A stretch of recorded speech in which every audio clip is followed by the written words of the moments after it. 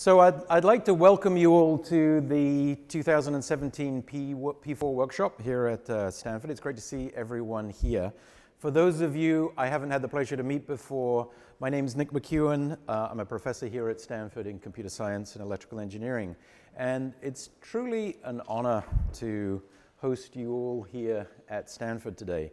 This is for the third year in a row for the workshop that we hold here. And uh, once again, as you can see from the room, registration is pretty full. We have more than 200 people registered. And um, uh, so we're, we're full up again today to come hear all these talks, uh, see the demos, and meet people from the growing P4 community. So there's one thing that's definitely different this year. And uh, when I was looking through the, the, the registration, it was very apparent. You know, in the last two years, about 50% of the people who were attending were from universities thinking about what P4 and programmable forwarding planes might be in the future.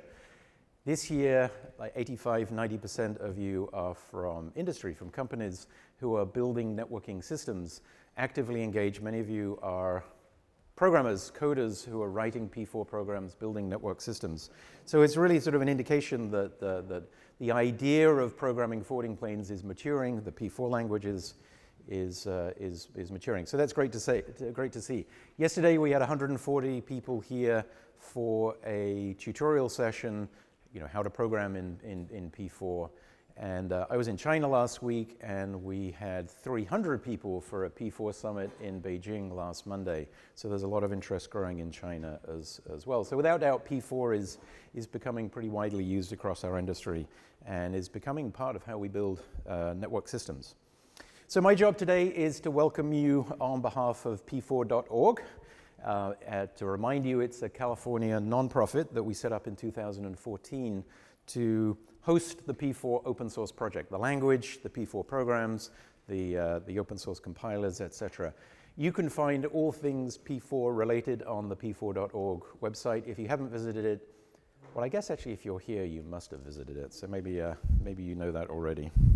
Um, membership is growing. We have uh, now have over 50 member companies, many of whom are involved contributing P4 code. 15 universities are, are members many also who are contributing programs and actively involved in evolving and improving the P4, the P4 language. As a reminder, P4 is a free organization. Membership is, is, is free. It's set up as a, non, a non-profit. All of the costs related to p4.org, paying for a website, domain name, legal costs, things like that, are actually paid for by this event. So your registration fees pay for this event today plus those other aspects of p4.org, plus the uh, generous contributions from our, from our sponsors. And uh, it's a very lean, small organization. Everybody's volunteers. So if you see your company or university on this list, that's the companies. This list is the universities. If you see on either of those two lists, it means you're all set up to be able to contribute. So there's already been, all the legal, legalities have been, uh, have, have, been gone through already. So feel free to go ahead and contribute as you see fit. Um, if you don't see your company or university on this website, then um, go get them to join. It's free. All the code is Apache 2.0 licensed, so it's a very permissive, permissive license. And uh, it'll let you take a more active role in the community if you do that. As you probably know, all the work is done by volunteers. There are no paid staff for p4.org and uh, from across a number of different organizations. We have a technical steering committee, and uh, that coordinates all the technical work in p4.org. Nate Foster, sitting here on the front row, chairs the technical steering committee along with the, the, the working group chairs. Um, we have three working groups. There's the language working group that's co-chaired by, um, by Nate and Gordon Brebner, who's also sitting here on the front row and uh, the architecture group with Calin. Where is Calin? Over here on the back with a beard. And, um, uh, and, and, also Dan Daly, who's not able to join us today. The API working group, Lorenzo, where are you? Just saw you over here. Thank you. And Antonin, where's Antonin? Can't see a hand. Over there. Over there at the, over there at the back. Thank you. Um, and then we have a board to oversee the governance, make sure everything stays open, that we don't break the law, etc. And uh, but I'd really like to take the opportunity to particularly recognize somebody who's uh, contributed a lot to p4.org over the last couple of years, and that's Chang Kim. Chang, could you just raise your hand? Chang, many of you know Chang. Um, yeah, thank you.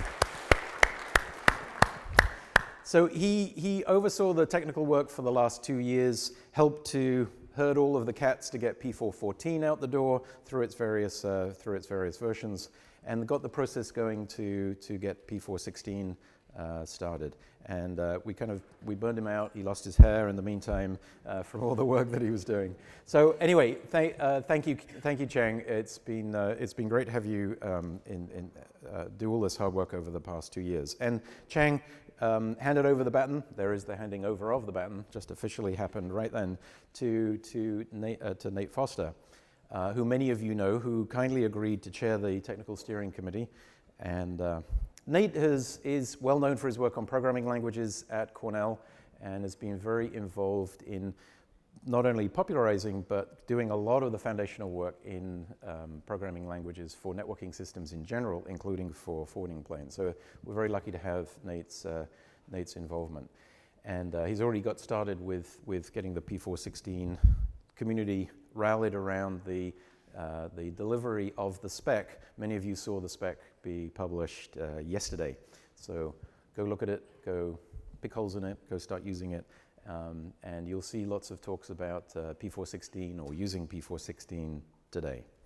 So please join me in welcoming Nate, and uh, who he's going. I'm going to hand it over to him. He's going to introduce the program for the day. So thank you, Nate.